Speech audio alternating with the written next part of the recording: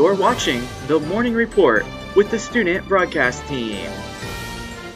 News with Addie and Cheyenne. Weather with Lexi. Cultural correspondence with Natalia. Leadership with Michaela.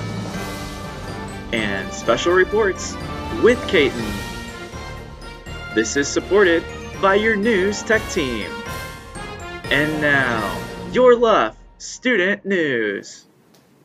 Good morning, Luff family. I'm Michaela Brunson. And I'm Eddie Alexander. Today is March 25th. It is the 130th day of school in Ada. Today for lunch we're having chicken and waffles or ripped Q on a bun. Today is the last day of walking club after school until 5.15. That's all for our announcements. Have a great day, Luff Lions. Hello, Luff Lions. I'm Lexi, and here is your five day forecast. There is a chance of rain on Thursday and Friday, and it's going to be warm, especially on Wednesday. Now let's take a look at today.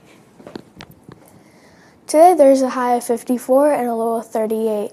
There is a 0% chance of rain. Have an awesome day, Luff Lions. Now please stand with me for the pledge.